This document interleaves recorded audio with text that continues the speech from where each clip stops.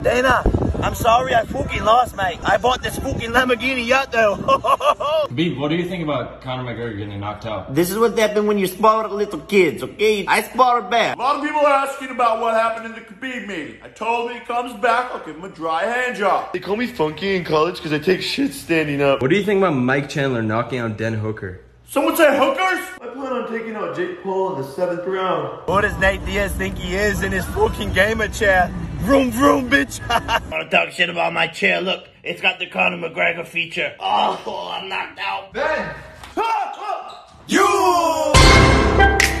Soldier boy. You must respect Jim. Conor McGregor, no respect Jim. Me and Nate are super happy because they made weed legal for the UFC. You can now smoke weed and pass the drug test. Just got back from my hip surgery. Now I'm gonna fight Jake Paul for a bunch of money. I'm gonna invest all of it in a Sia coin. Come and do something, Conor. Fuck you. Literally! Who the fuck?